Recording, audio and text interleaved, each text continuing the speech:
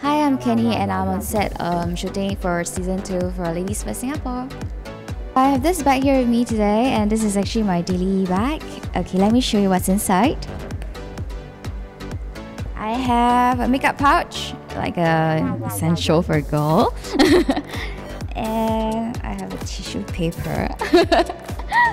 okay, uh, oh, I have umbrella. Yeah, this is neat, yeah in case you think my favorite color is pink, it's not. okay, anyway, I have a book. Yeah, it's like a must-have in my bag, so I make sure my all my bag size can fit the book.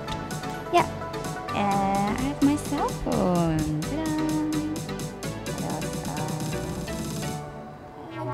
Back inside, which is actually um yeah surprise. Uh, it's actually like a wallet for today because I'm supposed to bring this for shoot, so I have to keep a small bag so I could fit of the things inside.